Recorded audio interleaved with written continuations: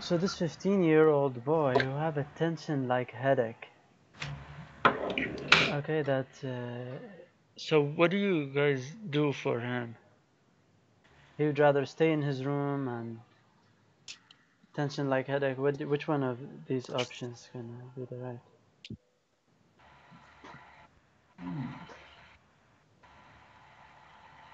He's 15 with a change in behavior and he just doesn't want to go out. Mm. And the headaches are, they're not new, right? I have to remember. Yeah.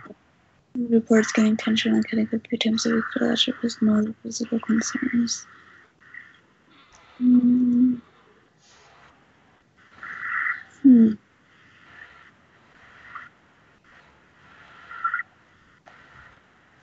Not an MRI. Think So we we screen him for depression because could be like he stay in his room and he's a 15 year old. There we go. We have the psychiatrist here, so he doesn't make psychiatric questions. yeah. So MRI, if there is, if we have uh, papilledema, nuchal rigidity, like early morning headache, that's the type of headache that we suspect brain tumor. That's when we'd use MRI. This case is not indicated. So toxicology can result in altered behavior like a drug abuse. But but this patient, like in the history, he didn't say that he's taking any drugs. He's not ta- he's not using drugs. So I think we should just believe him. Alright. Yeah. And anyway, we screen him for depression would be better because that's a history taking. Mhm. Okay, so that's that's a that's about it. Family therapy. Sometimes, like maybe sometimes it's helpful to see the family dysfunction can cause him to have issues. But first, we screen for depression. Is better. Okay, so this is a 30-year-old female. Okay, so what do you tell her about her abortion? Yeah, go ahead. How many abortus does she come to the office for preconception counseling? First pregnancy and then it's just cesarean due to fetal malpresentation. She's now with a new partner. First trimester spontaneous abortion. So she's only at two. She Two had only one abortion. Um, what to tell her regarding spontaneous abortion? Decrease caffeine, decrease amount of exercise, karyotype analysis, no patients increase with no. General history spontaneous, the previous, shoot, this is only her first one, right? Previous cesarean increase the risk of, hmm, possibly. Hmm. I, well, this is her very first spontaneous abortion, so I think I'd probably go with choice E. Previous cesarean delivery increases risk of spontaneous abortion. I'm not too sure, but I think that makes much more sense. Okay, how about you, Nina? Yeah, so she's only been pregnant twice, right? The first time with the C-section and the second time with the trim- first trimester abortion. hmm Okay. Um, is is that choice B? Karyotype analysis indicates determine the risk. I don't think it's choice C either. Patient reduce her history. So this patient, this is the topic about about the spontaneous abortion. So which is the pregnancy loss less than 20 weeks Mhm. gestation. Risk factors is the advanced maternal age, number one. Second thing is previous spontaneous abortion, and the third thing is that substance abuse. Mm-hmm. So those are the biggest risk factors for spontaneous abortion. So how do you manage it? It's just expectant, or you can do medical induction like misoprostol, and you can do suction curettage if there's an infection.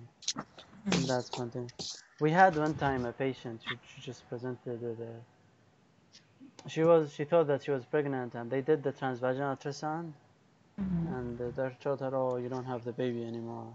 She lost it Ooh. without her knowing. So they gave her misoprostol and stuff. Yeah. But she had hemo, she was hemodynamically stable. If she was hemodynamically unstable, then they would do suction curettage. And uh, we do RHD immunoglobulin for abor- abortion, and we do pathology examination just to see why did that happen. And spontaneous abortion can be complicated to hemorrhage, retain the product of conception, uterine perforation, and intrauterine adhesion. Uh, so those are the thing. So Can previous cesarean delivery, huh? Go ahead, go ahead. Yeah, so previous cesarean delivery, it's not a risk factor for spontaneous abortion. Exercise, it's not too. Caffeine is not too. All of these exercise, caffeine, Caesar, C-section are not risk factors for spontaneous abortion. The she increased spontaneous due to her history of prior spontaneous abortion. So that was they keep repeating this question even in the CK there was a question like this. Okay, question. This lady in the case scenario didn't have a history. So are we talking about the future? Like I didn't, you know, that's why I didn't pick that. I I know that, you know, you can it's a risk factor, but Hmm? Like Yeah, Yeah, so the biggest yeah, the biggest risk factor is the previous spontaneous abortion. true. But the way the question is asking, what do we tell her about spontaneous abortion? It sounded like now she wants to know. But she didn't yeah. Before. I guess because um, I guess the question is worded very poorly, but I guess yeah, yeah, she. sorry. So I didn't bring the, so these are numbers. So it's gravida 2, para 1, aborta 1. So this is, That's what I was asking. yeah, you. sorry, those are the numbers. Yeah. So So- this is abortion. Yeah, so she had abortion already. So this one you do it. She had two pregnancy and she only delivered one. So that's how you tell. Like G2P1, that means she has abortion one abortion. So she had a history of previous abortion from this G2P1, you can tell. Yeah. Yeah, you're right. It was like uh, those numbers missing. Yeah, so that's the idea of this question. And the spontaneous abortion can be due to chromosomal abnormalities, Mm. like mosaicism, overshowing translocation can cause that. But there's nothing mentioned in this case. And usually chromosomal abnormality, if they have mosaicism or they have more than three spontaneous abortion. This patient had one only. So that's a risk factor for So what were the complications of spontaneous abortion? Can you Yeah, go over? It can be hemorrhage, infection, or adhesion, or it can cause uterine perforation. Uterine what? Perforation? Yeah. Gotcha. Yeah. So this is interesting case. She's a 75-year-old female who presented with a two-week history of palpitations, fatigue, heat intolerance, weight loss. Thyroid ultrasound shows multinodular goiter with increased vascularity. On follow-up, two days later, the patient reports partial relief uh, of her symptoms. Now the blood pressure is 135 over 80. 34 over 80. Okay. So what do you manage? How do you manage this patient? And she had, that's the big clue too. She had angiography. So angiography, they add contrast, iodine, okay? So mm-hmm. that's the biggest clue, is that after contrast, after iodine contrast, you developed hyperthyroid symptom. What is this mm-hmm. diagnosis and how do we manage it? That's the main idea of this question.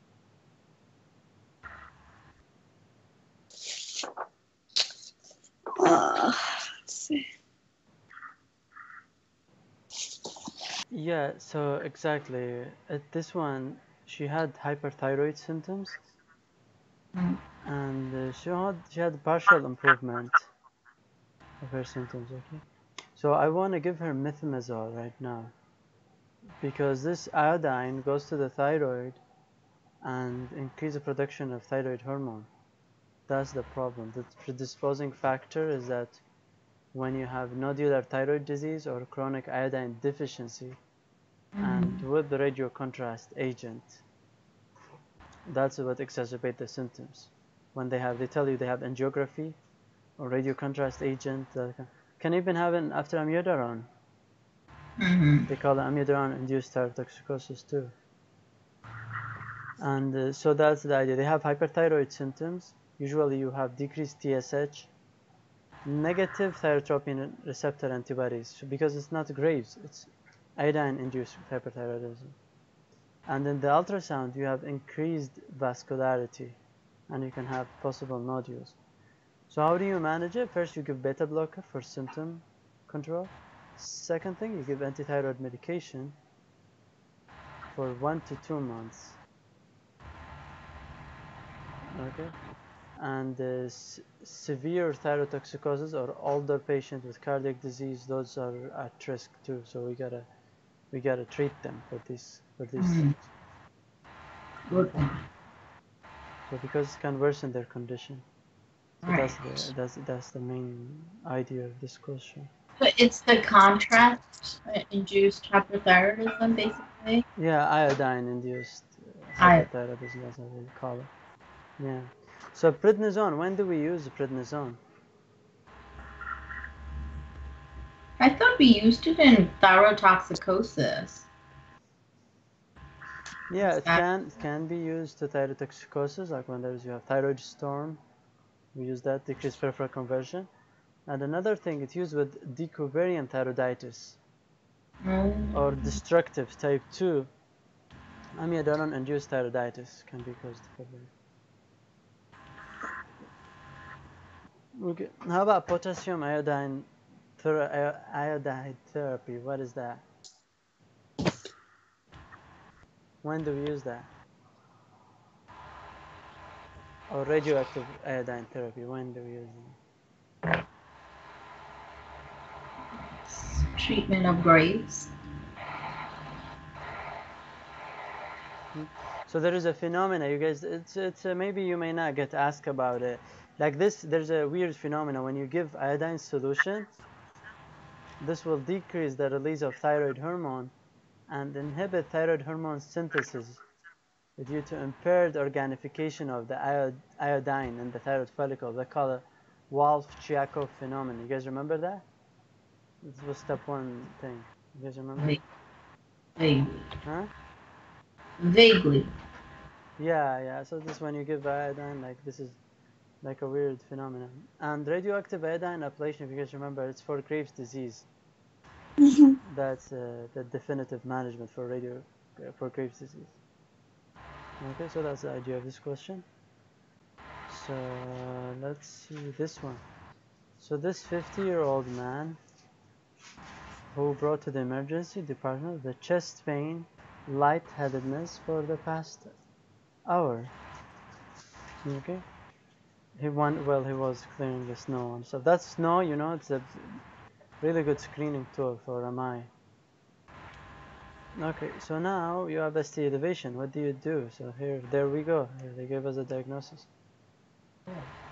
Do another information here. The heart rate is 34.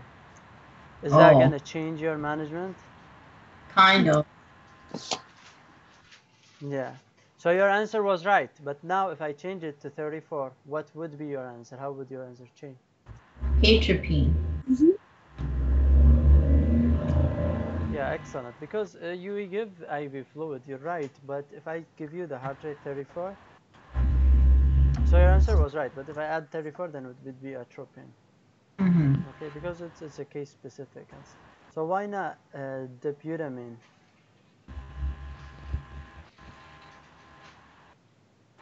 This one for cardiogenic shock. Okay, why not epinephrine?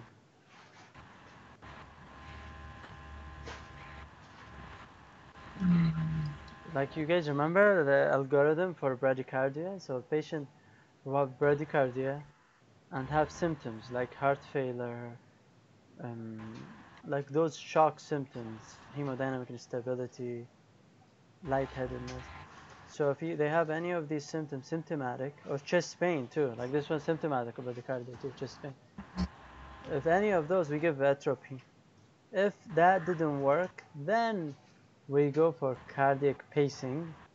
Mm-hmm. Uh, they call it transcutaneous pacing. If it didn't work, then we give dobutamine, epinephrine, If that didn't work, then they do a transvenous pacing.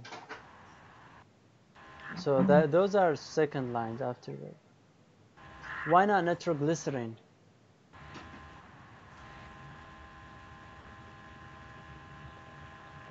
I think it'll be harmful because they'll dilate. Exactly. It's very harmful. If you want to kill the patient, you give him nitroglycerin. Nitroglycerin you give him for a patient who have a heart failure and hypertension. Mm. That's when you do it. Like it's for a hypertension emergency because it's venodilator. Like it's, uh, a, or for anginal episode, anginal pain too.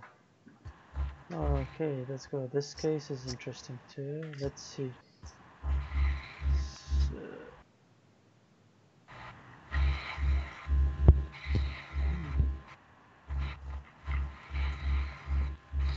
So she's a 29 year old female. Okay. Contractions every three minutes.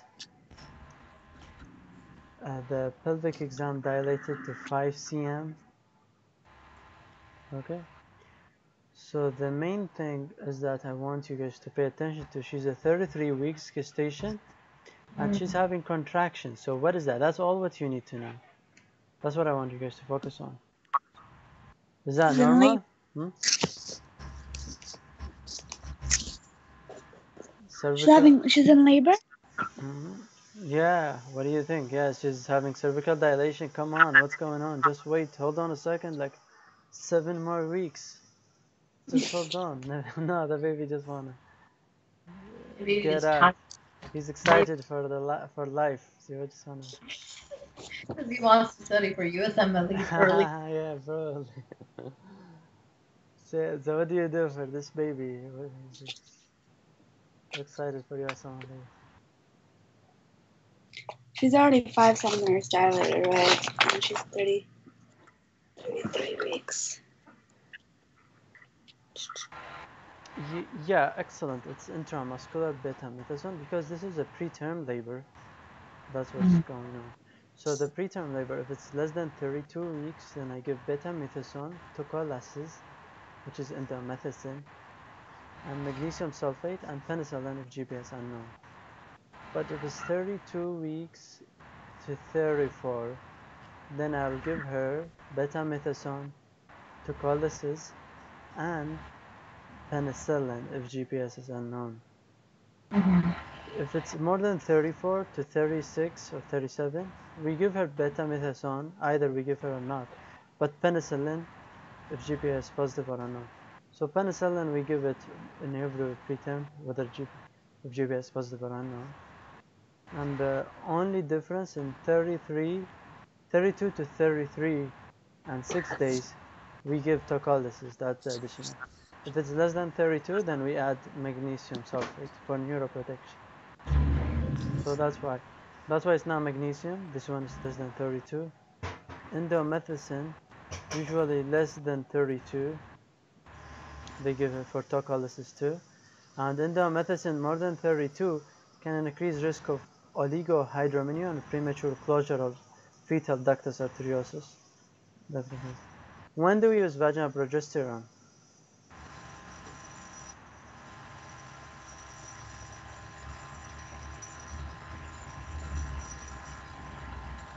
So this one, if you guys remember, like some females have short cervix. So they have high risk to lose the baby. Their cervix are not long enough to to hold the baby.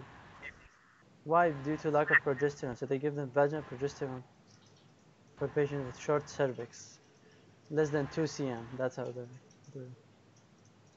Okay, and usually they found it in the second trimester, and they give her they keep giving her vaginal progesterone and stuff just to keep uh, making the cervix stronger to hold the baby. Okay, so that's it. So betamethasone is why why do we give betamethasone? For the lungs. Huh? For the lungs. Yeah, excellent. What else? So it's kind of protecting neonatal respiratory distress syndrome, necrotizing enterocolitis, intraventricular hemorrhage, Like that's that's what uh, oh, that's what protect against those. Okay, so those are the management for uh, yeah. So this one I think we talked about it. So when you have Glasgow Glasgow Coma scale is eight. So this is what I want you guys to know. This mnemonic below eight intubate. Okay, so this patient, what do we do? What do you guys think was the management? Well, he's only eight, and he's responding with his eyes. So, where is this knife lodged in? Hmm. Is that in his head, the knife? Yeah. Okay. Um, Yeah. So we just send the patient to the OR. Let's see. Intubate him?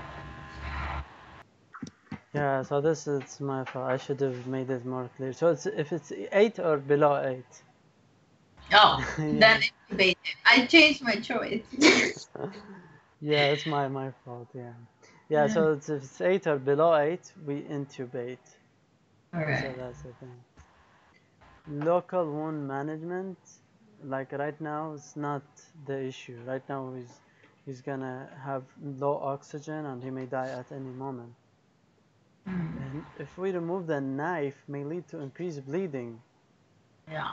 to the ongoing of dural venous sinuses pressure. That's what we call. That's why we have to do it in the operating room. Yep. Okay. And the first thing, ABC, that's all the time. Like this, transport him and stuff afterward. Every, all the times ABC, airway, breathing, and circulation. Airway comes first, intubate. So those are the Glas so the Glasgow Coma scale. There are we have three items, three parameters. We have the eye response. We give the four point, and the verbal response, and the motor response. Okay, the eye four points, verbal five points, motor six points. Okay, so that's that's the difference. Here, like you give him how much do you give for each, and you manage accordingly.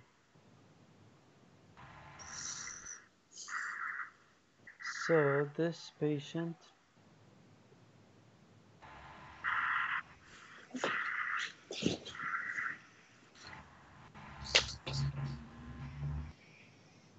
Was an 84 year old guy with this issue. What do you guys want to do for him? Excellent, yeah, good memory. Yeah, so if the patient is on his face is well differentiated, invasive squamous cell carcinoma, you can go, you give radiotherapy, cryotherapy, electrosurgery. Those we can we can give all any of these. Okay. So that's the idea. Palliative care, photodynamic. Why not photodynamic therapy?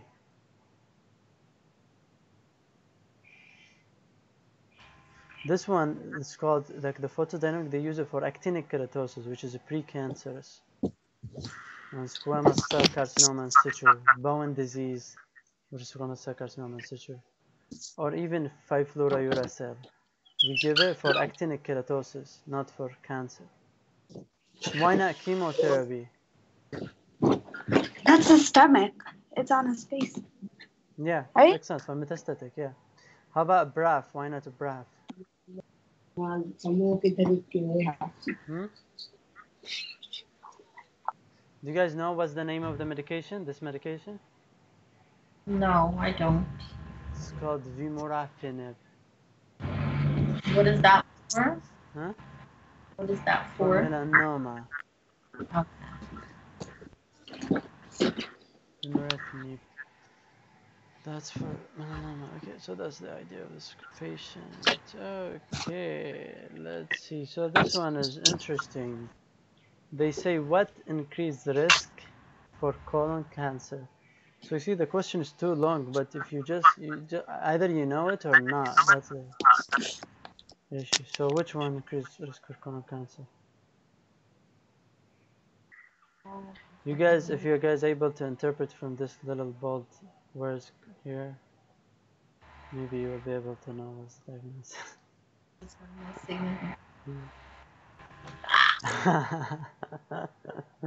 yeah, he drinks three, four.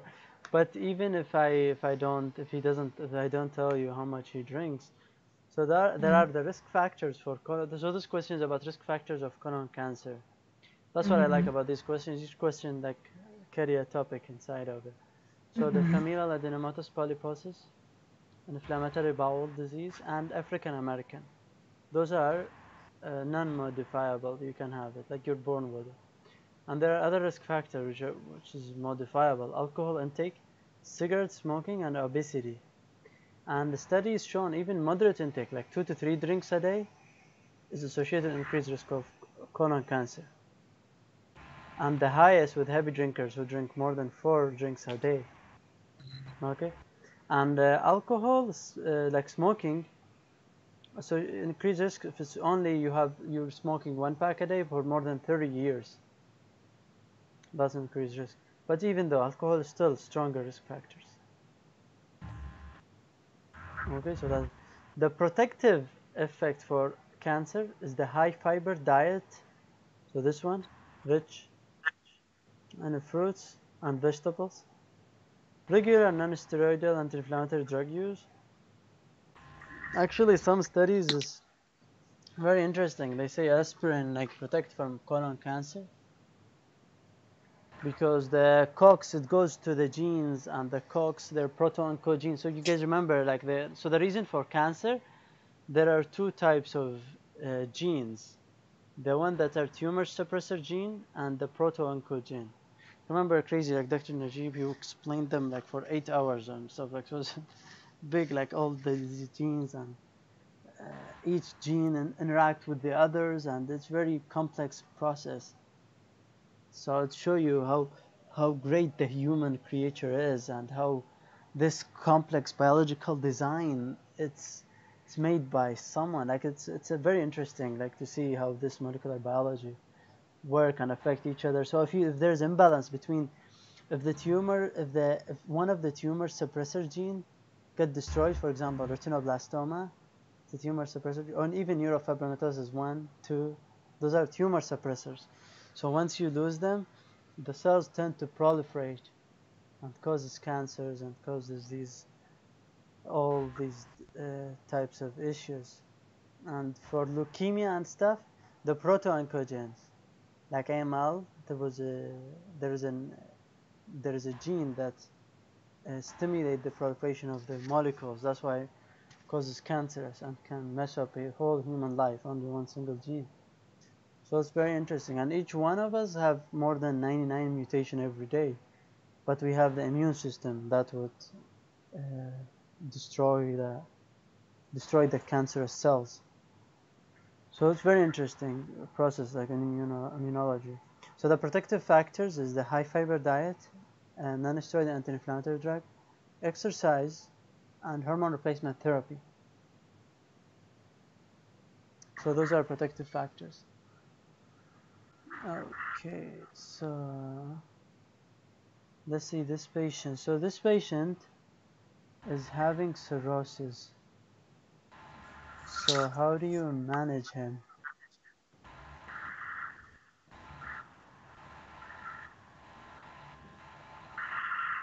So this patient, I'll tell you, he's a 54-year-old guy, present mm-hmm. with exertional dyspnea and non-productive cough, and he has a cirrhosis. There is lower extremity edema and shifting dullness on the abdomen. Alkaline phosphatase is high. AST, ALT are high. Okay, so what do you what do you do for him? And he's even having pleural effusion because of his cirrhosis. I think you should give him uh, choice B. How about you, Mina? What do you think? Yeah, I agree. Out of these ones, I would. Oh, he's not bleeding or anything like that, right? So yeah, I would go with furosemide, spironolactone. Why not the other ones? Yeah, exactly. That's what the idea is. So when you have cirrhosis and a pleural effusion, they call it hepatic hydrothorax. So that's the present cause is right-sided, transudative or exudative? What do you guys think? Hmm? Transudative. I think it's transudative. Excellent, yeah, because protein loss. So transudative, first you do sodium restriction and diuretic, and then you give, if it didn't work, then you give a transjugular intrahepatic portosystemic shunt used in refractory cases. Okay, so that's, that's, uh, but there is a risk for that, cause, can cause hepatic encephalopathy, hepatic decompensation. So that's why we leave a last resort. Uh, placement of indwelling catheter is also is a poor treatment for that because every time it's gonna keep reaccumulating. So there is no cause for that. There's no, it's not a good management. How about chemical pleurodesis? What is that? That's for that thing. It's um, I forget. It's like sort of like pus, empyema or something. Yeah, so this one they they they involve installation of an irritant, which is a talc they call it. They ingest it into the pleural space, and that talc causes inflammation and fibrosis. That's why inhibit the recurrent effusion. That's most likely used for malignancy, malignance, exudative mm. pleural effusion. Okay, not for hepatic hydrothorax. Okay, that's the idea of this patient. So let's go to this one.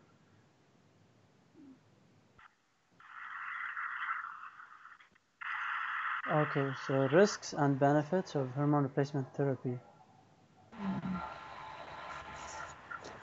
She's a 54 year old female.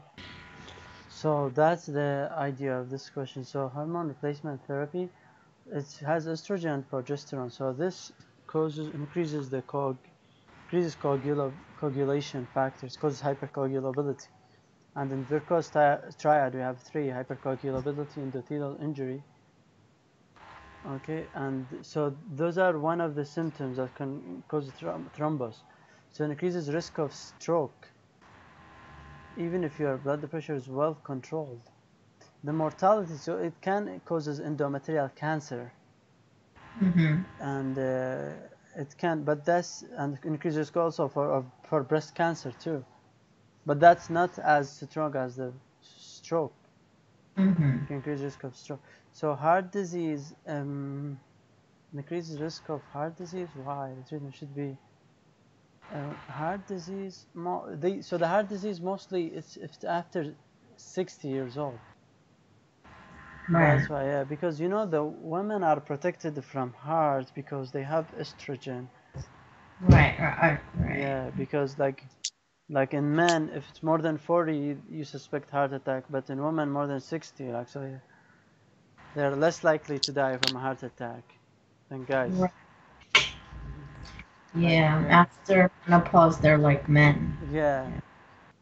Yeah, so you you have this advantage like of the estrogen protected, and uh, even protect from diabetes because it decreases insulin resistance. So that's the thing. So the answer here is the stroke. Okay. Yeah, exactly. Increases the strength of the blood pressure is under control. But because of thrombosis, you're saying. Yeah, yeah. So there are the detrimental effect of uh, hor- of the hormone replacement therapies that thromboemboli, breast cancer, stroke, gallbladder disease, and heart disease only if age more than 60. Okay. And the beneficial, we all know, it, it, it benefit hot flashes, vaginal atrophy, bone fracture, colon cancer, type 2 diabetes, okay, all cause mortality. And the, the one that has a neutral effect doesn't affect or prevent the congenital, co- so, sorry, cognition, endometrial cancer, ovarian cancer, and all cause mortality more than 60 years old. It can affect that. So all of those have a neutral response. Wait, so it has no effect on breast cancer? Like, No, incre- increases risk of breast cancer. oh, increases risk. Okay. Yeah. And endometrial cancer increased only with unopposed estrogen. Oh.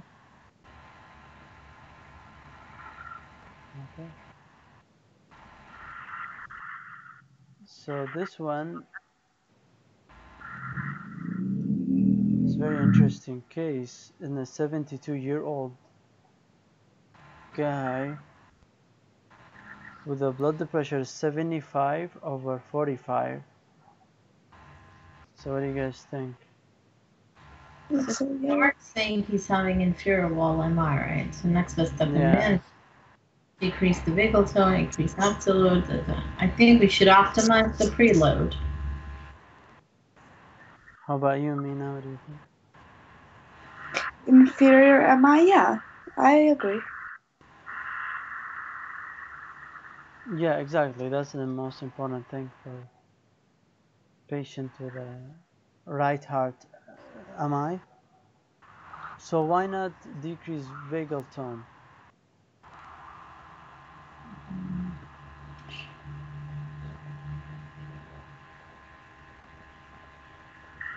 This patient, we give them only if they have heart rate 34, like the case that we had. Okay, but this patient pulse is 60, so she's okay. So why not increase after afterload? What do you guys think? That would kill him. Exactly. That will increase the stress on his MI. Inotropic agent is the same. How about thrombolytic therapy? Why not that?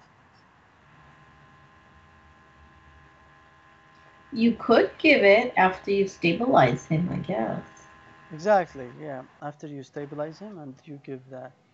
And even so, we we give thrombolytic even pulmonary embolism if he's unstable too. We Hmm. give thrombolysis too in this case. I'm sorry, why did you say not the vagal thing? So atropine, atropine is muscarinic antagonist, so it decreases the vagal tone on the heart. So that's why it increases contractility. So the vagal decrease vagal tone, which means they mean atropine. That's what they mean. This will give it if the heart rate is low, like Alright. 34, like bradycardia, like the question that we just had.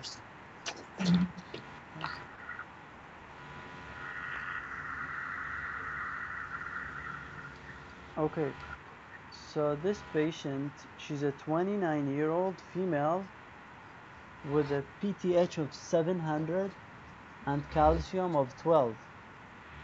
So, what do you guys want to do for this patient? Those are all really high, right?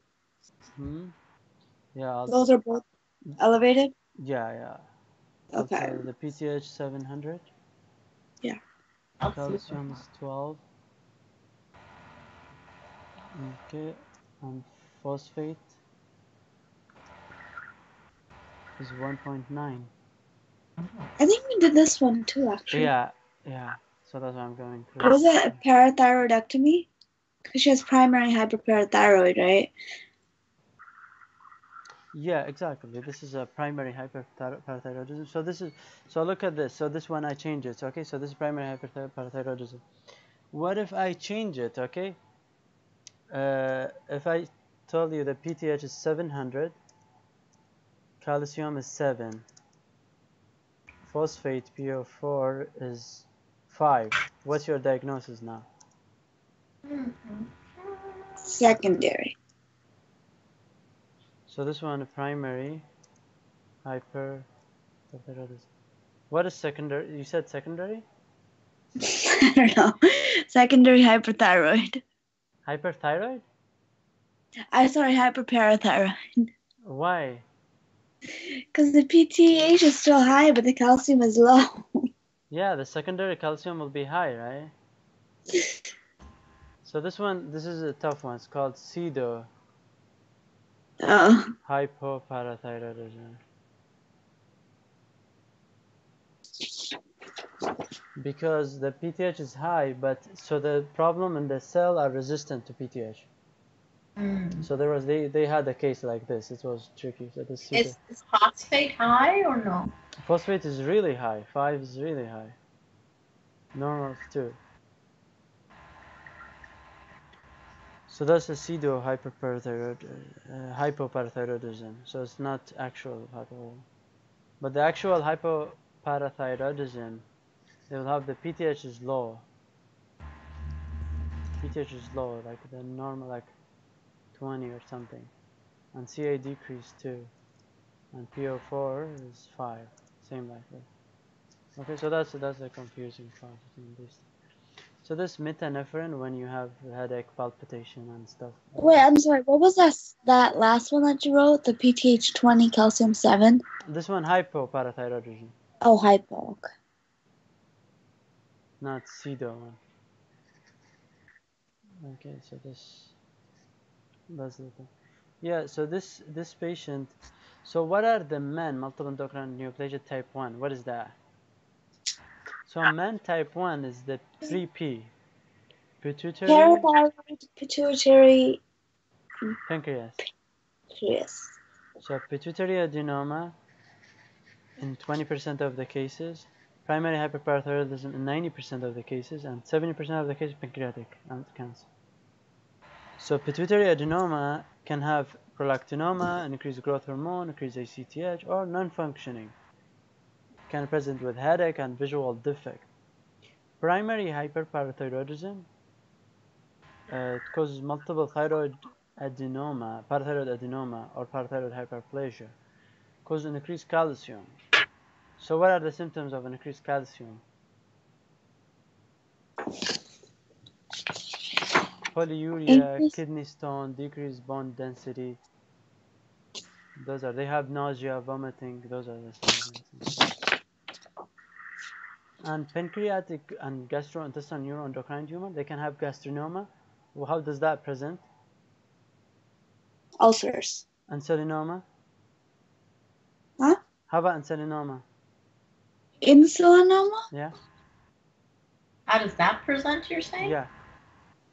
Hypoglycemia? Excellent. How about vipoma? Oh, yeah. Lipoma. Diarrhea. Plus hypokalemia and hypochlorhydria. How about glucagonoma? How does that present? You know, that's like rash and increased sugars. Yeah, nec- that's rash they call it necrolytic migratory erythema and hyperglycemia and weight loss. Yeah. Yeah, excellent. You're right. Yeah. So this one, calcitonin and metanephrine for MEN too, and Okay. gastrin for Zollinger-Ellison syndrome. So that's the comparison of these patients. Can you go over that last one that you had? Hmm? The Uh, gastrinoma, glucagonoma, you said? oh, in the values. Can you go up? Oh, the values. Okay. okay. So this patient is a 30-year-old uh, Caucasian male, who present with nausea, vomiting, diarrhea. What do you guys want to give him? So he has salmonella. Treat, treat, treat. Yeah, Is it body diarrhea or no? salmonella. That's all that you need to know. Give him s- super. Let me give you the other option.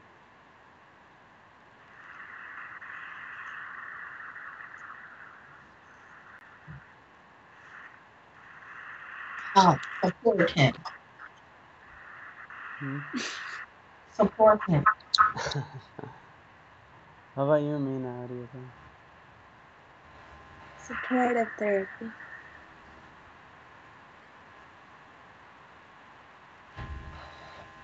Yeah, excellent. This salmonella, there is no need to do antibiotic for that patient. You just do supportive therapy, and you give antibiotic only in. in so this, there's no need to be in, in immunocompetent individuals, Mm. age 12 also or, or older.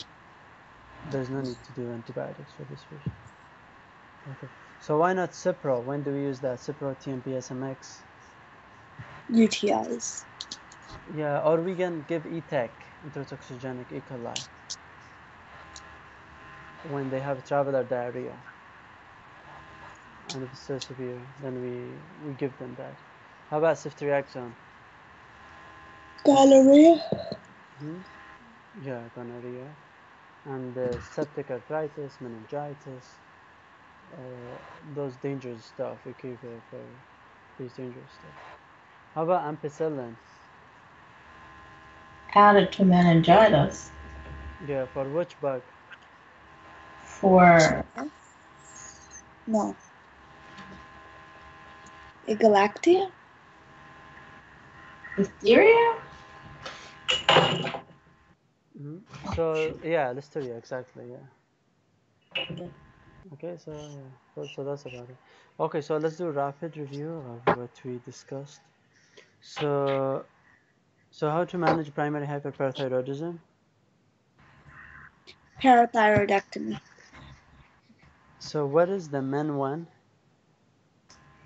The three P's: pancreas, pituitary, para, uh, hyperparathyroidism. Excellent. How do we manage inferior MI with bradycardia versus normal heart rate? Bradycardia do atropine and normal heart rate give fluids. How to manage hepatic hydrothorax? You give them furosemide, lactone, and sodium restriction. Okay. What are the risk factors for colon cancer? Good. Uh, you said all of those were right. Hmm? Did you say all of those were? Because I couldn't really hear properly. I know alcohol is. Yeah, yeah, alcohol, smoking, obesity. What protective for colon Okay. cancer? Nothing. Hmm? Protective. Yeah, Not smoking and drinking. I don't know. yeah, high fiber, hormone replacement therapy, and exercise, and non-steroidal anti-inflammatory drugs. That's what you. You said hormone replacement therapy. Yeah, yeah, And what else? NSAIDs and what else? and high fiber diet. There was a fourth one you said. Non-steroidal anti-inflammatory drugs. So high fiber, HRT, NSAIDs, anything else? Exercise. Yeah. Really? Yeah. Regular exercise. Yeah. And they say like the processed meat that we buy, like this one that you put in the microwave, increase risk of colon cancer four times. Yeah. Uh, this was a interesting study too. I do that a lot, so I should be careful. Yeah, i try not to process Yeah. stuff, even Yeah, though I I should- love I should cook. Yeah. it's hard to. Yeah, but sometimes we don't have time for it. So Glas- Glasgow Coma scale is eight. What do you do? Intubate. Preterm at 30 week gestation. What do you give him? How many weeks? 30, yeah. Oh, 30? Yeah. Um, steroids, magnesium, and tocolytics. Yeah, excellent. How What do you- about GBS prophylaxis? Do we do that? Hmm? GBS, if it's unknown, do we do that too? Yeah, we give penicillin too. For GBS unknown. So, how about patient? What are the risk factors for spontaneous abortion? Having previous history of it. Or substance abuse or advanced maternal age? Okay. Yep, so that's that's the main issue for this for this discussion. Okay, so do you guys have any question? Hmm. Okay, so we will we will do the next session the CCS. Okay. Yes.